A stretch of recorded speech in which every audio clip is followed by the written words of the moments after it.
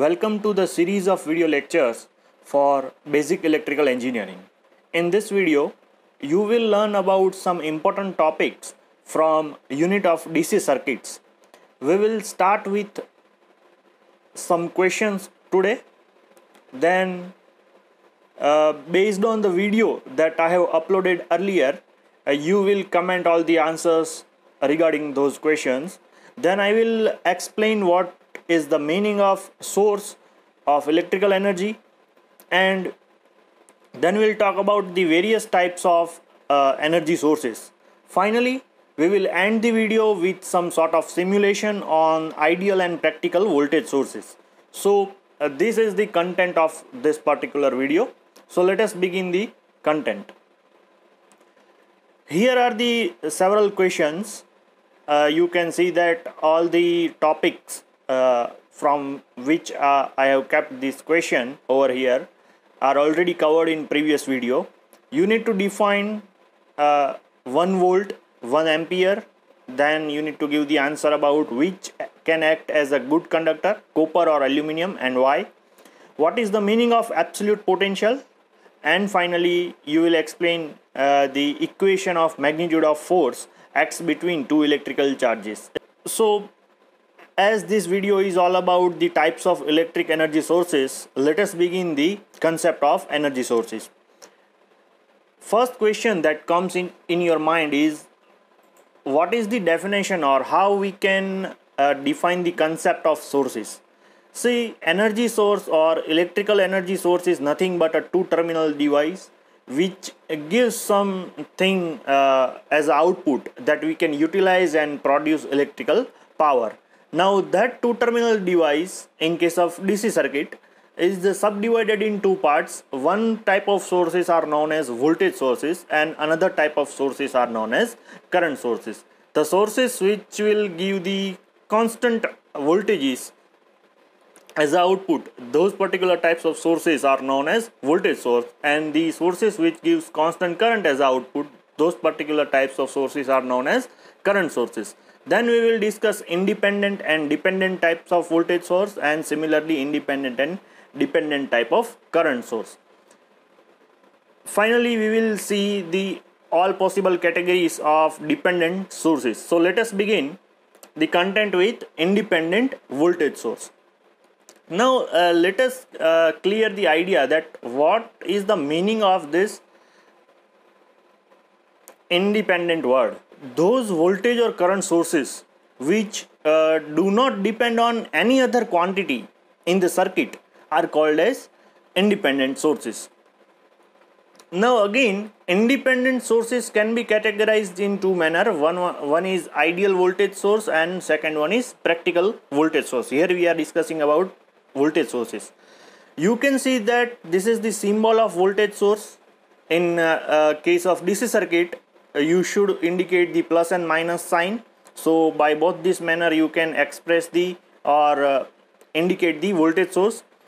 Now what is the meaning of ideal voltage source? Ideal voltage source is the source having zero internal resistance and it will give constant terminal voltages irrespective of load condition. So the output of ideal voltage source will not be affected by the value of current. As in this graph you can see that value of current is increasing but voltage is constant throughout the time. You can consider a time again in case of batteries on x-axis so it can be current or time. Both the functions can be taken on x-axis now in case of practical voltage source practical voltage source are the type of sources which have some internal resistance so if the value of current which is flowing outward from this type of voltage source is increasing, then the voltage drop here you can see that the drop is increasing. So with time or you can say with higher value of current the voltages terminal voltages will be reduced so we can say that terminal voltage here in our case terminal voltage is VAB so this VAB voltage is are affected by load current and finally the terminal voltage can be given as VAB is equals to V minus IR volts. Let us move to the concept of independent current source. Again this type of source is, is independent so the output quantity will not depend on any other quantity okay so let us first uh, take the ideal current sources. Ideal current sources are the sources which have constant magnitude of current throughout the time or irrespective of its terminal voltage or the uh, load voltages. However we can connect any type of load at these terminals. And if it is imposes V terminal voltages on current source still the value of the output current cannot be altered. So this is the meaning of ideal current source. This type of source have uh, no parallel or you can say infinite parallel resistance. Shunt resistance is infinite in this case as you can see over here for ideal current source. Shunt resistance internal shunt resistance is infinity. While in previous case in ideal voltage source there is no internal resistance. But here internal shunt resistance is infinity ohm. Current through output or through the supply or we can say current through the load is same as the current produced by the supply. And again load current will not dependent on any other factor. Okay so the same amount of current will be entered inside of the load which is coming out from the source. Now let us uh, understand what is the concept of practical current source. Practical current source is the type of sources where the internal shunt resistance comes in picture. So we are here taking arbitrary R ohm and now instead of if this resistance is infinity here we are indicating that this uh, resistance is particularly r ohm. But if this resistance is infinity then no current will enter over here. Then that case will become ideal current source.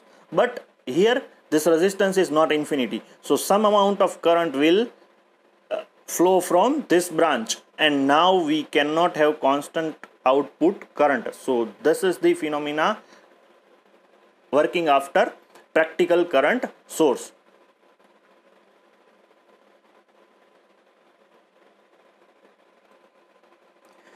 Now let us understand the concept of dependent sources. What is the meaning of dependent? A dependent voltage or current source is one which the value of which depends on some other quantity in the circuit which may be either a voltage or current. So total available types of dependent sources are four voltage controlled or you can say voltage dependent voltage source voltage dependent current source, current dependent current source and current dependent voltage source. Here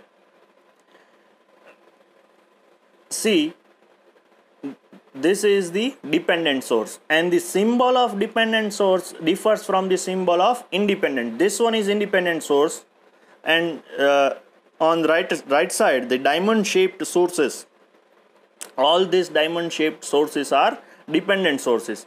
And uh, let's say first understand voltage controlled voltage source. So any dependent source which is indicating plus and minus sign is nothing but voltage source. And the magnitude of this voltage source depending on this value of vx. Vx is the voltage drop across this resistance. So if this voltage is voltage drops is varying in nature then ultimately the uh, magnitude of the voltage of this dependent source will be varying continuously. So i think you have idea that what is the voltage controlled voltage source. If particular magnitude of source is getting changed with help of some other voltages then that particular source is known as voltage controlled voltage source Similarly, voltage controlled current source, here you can see that this uh, sign is indicating about the current source. But the value of that current source or magnitude of the current delivered by that current source is the function of voltages. That means that source is voltage controlled current source. Similarly, we can have current controlled sources in case of a current controlled current source. Here again you can see the uh, sign of current source and it is function of current. So this uh, current source is nothing but we can say that current controlled current source and last one is nothing but current controlled voltage source. Here all the values of unknowns a B, C and D are the constant values. And Vx and Ix Vx and as well as Ix are some other quantities which can be reflected on any part of network so I think you have enough idea about the dependent and independent voltage sources. Now let us understand the simulation of uh, ideal voltage source and practical voltage source. Here I have taken the battery or you can say constant voltage source of uh, 10 volts. In case of ideal voltage source what was the requirement? in uh, I have already explained in video that the internal resistance of the ideal voltage source should be zero now battery is uh, actually the example of voltage source okay when this internal resistance on the right side of the screen you can see the value of internal resistance when the internal resistance is zero that means it is a 100% efficient voltage source. That means uh, terminal voltage of that voltage source will be 10 according to its rating. But if now let us talk about the practical voltage source. No voltage source can be made uh, with 0 ohm internal resistance. So practically the all the batteries or voltage source will have some internal resistance. Let's say the internal resistance of this battery is now 2 ohms so you observe that even though the battery is of 10 volts the terminal voltage that is that means the actual output voltage from the voltage source is 8.33 volts and that is due to the loading effect. Why? Because we have connected resistance. If we are disconnecting the resistance from this uh, simulation then you can see that again even if it is having internal resistance the terminal voltage is 10 volts. So i think you have uh, uh, got the idea that how ideal voltage source and practical voltage source differs from each other. Finally you will uh, assess your knowledge with help of these questions. You will tell me what are the applications of current sources. You will give the example of systems where we can find the dependent voltage or current source.